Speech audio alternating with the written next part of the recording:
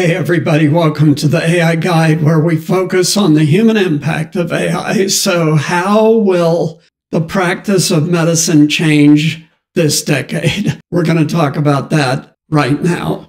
So, I don't know how much you guys are aware of this, but right now there is a serious shortage of doctors and nurses in general and a critical shortage in rural areas. While most people these days live in or near cities, there's still a substantial rural population to be taken care of. So, new innovative methods need to be introduced into healthcare to manage both urban and rural patients, but also to help out with this doctor and nurse shortage. So, one of the things that has been discussed in the press a lot lately is how to change the delivery of healthcare. Telehealth means a video meeting with your doctor, and that was largely prohibited and not covered by health insurance until the pandemic.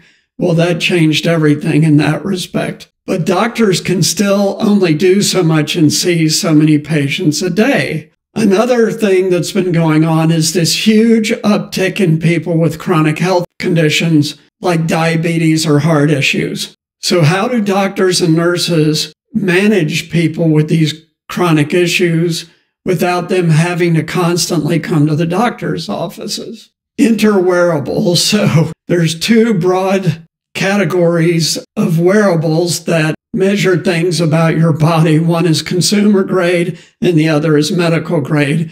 But the line between those is starting to blur significantly.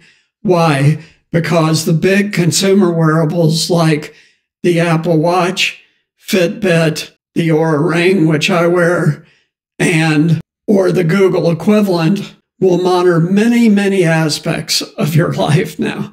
How you sleep, your heart rate, your body temperature, a, a bunch of stuff, your breathing. So there's this particular article on healthcare, courtesy of IDTechEx, says what is widely discussed now healthcare systems around the world are being put under increasing strain each year. Key challenges they face include overburdened medical staff and a steady rise in the patients with chronic health conditions. Digital health has long been proposed as a solution to these problems. The question remains as to how the world will shift more permanently to this new form of healthcare delivery. So, I talked about tele- telehealth a minute ago. Another kind of digital health is called remote patient monitoring, and that's the wearables.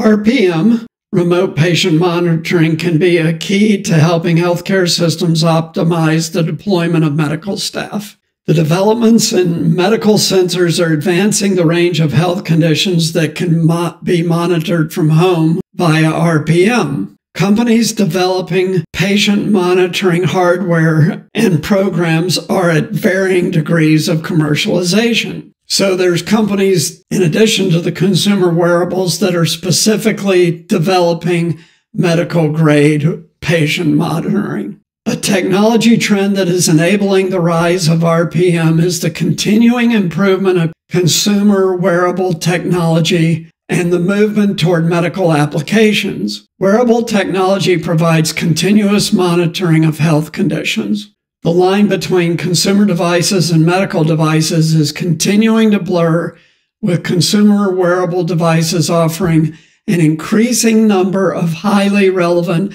health sensing capabilities. Highly relevant to medicine, they mean. The key to digital health is software. Significant progress has been made in bringing software as a medical device to the market. Several digital therapies have received regulatory approval for reimbursement worldwide. Key areas for software as a medical device are mental and behavioral health. And I've done separate videos on all of the apps now that can be used for psychological counseling. Some of those are medically approved for reimbursement. With the ability to drive healthy behaviors, digital health apps are also applicable to managing chronic conditions and improving overall well being because these devices detect so quickly when something is wrong. A separate type of software as a medical device that has emerged is the use of image recognition AI for application on medical imaging for diagnostic. And I've done other videos on that of AI being better able than humans to read x rays, MRIs, and things like that.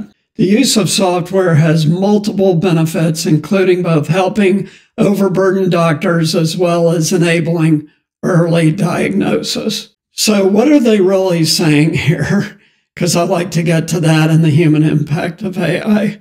In the very near future now, because of rapid advances on multiple levels each year with these types of devices, what will happen is that you will consent for your doctor to receive all of your data or it being badged that they can basically look at and tell you everything that's going on with you without you having to actually come to the doctor. Take the annual physical, for example. Each annual physical appointment takes roughly an hour in an eight hour workday for a doctor, even if they spend nine hours seeing patients, working a 10 hour day with an hour off those routine preventative care appointments that they call them annual physical takes up a very significant portion of their time. What if you never had to go to the doctor anymore for that kind of evaluation? Why? Because the doctor can get an entire year worth of data from your Oura Ring, your Apple Watch, your Google Watch, your Fitbit, whatever, and know every single thing that's going on with you.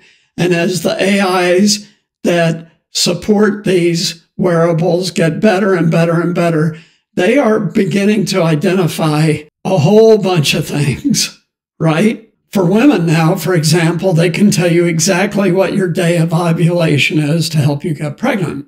I recently got a message from Oura that they believe that their data allows them to predict now that you have a certain disease, and I forgot what it was but it's something that's relatively rare and usually would not be caught in a physical. So this kind of technology is developing so quickly and its reliability is getting so good that very soon it's likely that you will not have to go for routine physicals anymore, that you'll only go for sick visits.